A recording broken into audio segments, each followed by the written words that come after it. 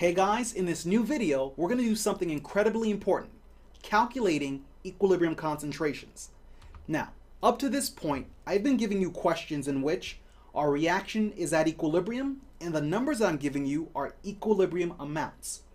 Now we're going to be tasked with figuring out what those equilibrium amounts when I give you just initial concentrations. Now remember, initial concentrations and equilibrium concentrations are totally different.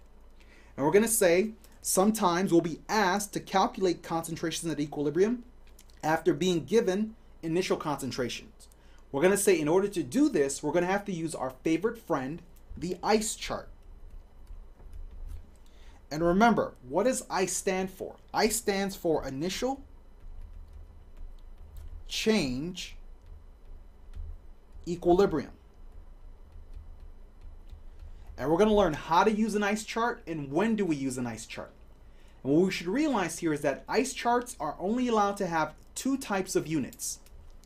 We're going to say they're used to having atmospheres or molarity as the units. And remember, why those two units? Because atmospheres are connected to Kp and molarity is connected to Kc. We're still going to be dealing with our equilibrium constants because they go hand in hand with our ice charts. Now, when do we use an ice chart? You only ask yourself one question, or really you say one thing. You're going to say anytime we have more than one compound in our balanced equation without an equilibrium concentration, then we have to use an ice chart. So before we start this next question, what do I mean by this? In the next question, we have three compounds within our balanced equation. Let's say I gave you the equilibrium amounts for two of them. We'd only be missing one person at equilibrium. In that case, we wouldn't need to do an ice chart. But let's say I gave you only one person at equilibrium. Technically, we'd have to do an ice chart in order to organize our work to see what the correct answer would be.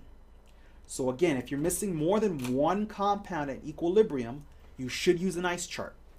And if you don't have anyone at equilibrium, then you should definitely use an ice chart.